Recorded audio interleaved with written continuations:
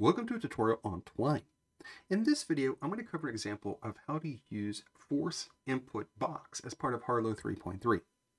So we've previously seen how we can use input or input box to get input from users. We can get a single line with input, multiple lines with input box. Alternatively, we can use force input and force input box to force the user to input something. And as we've seen in a previous video, we can then check to see using the bind keyword and be bound to a variable that the user actually inputted the thing as we asked them to. So let's look at a kind of short but somewhat silly example of how we can engage with a force input box to force a particular effect. So I've named this example ghost input so we can see example of how we can use the narrative effect of forcing input in a particular example. So let's go ahead and start with the start passage.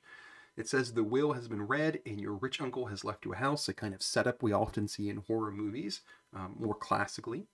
The only requirement is that you must spend the night there. Again, a requirement we see in kind of traditional horror um, media. So we want to then enter the house. So if we enter the house, we see typewriter, force input box, a whole lot of potential things that we will see somebody can enter. Then we see link, enter bedroom, the door disappears, link, try to leave, the door disappears. So a somewhat silly example, but a particularly effective one to demonstrate this idea. So let's go ahead and start here. So as I established, we have a will, we have a rich uncle has left us a house, and we must spend the night. Let's go ahead and enter the house. So we enter the house and we see a typewriter. And then we can use a typewriter, but I'm going to skip that for just a moment.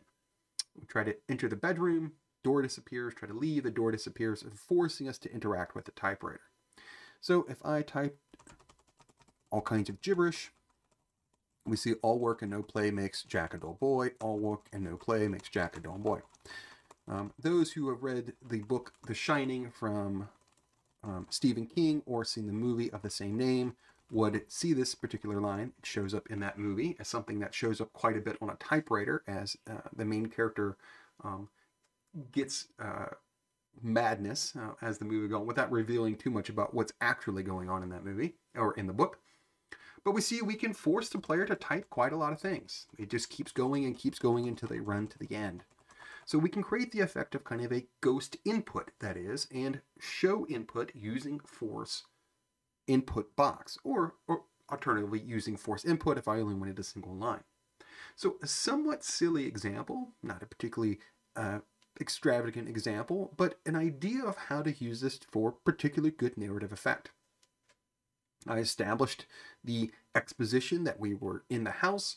As you saw, the use of the link macro showed that we were then trapped in a house. We were using the typewriter, which was showing the same line, and hopefully people understood the reference from either the book or the movie, would then connect with, oh, this is having to do with ghosts or having to do with ghost input if nothing else. So again, a somewhat silly, silly example, but a use of how to do this. If we wanted to use force input, force input box, we can force a user to do something again and again and again until they kind of eh, get tired or expire themselves. Alternatively, if I wanted to, although I've not yet covered it in a current video, we could use macros to set up a timer and force the user to sit in that passage until the timer expired and then send them to somewhere else using the goto macro or some alternative means. So we could have created a way to escape, but I thought it might be more effective for this particular video to focus in on that just use of force input box macro within Harlowe 3.3. Thanks for watching.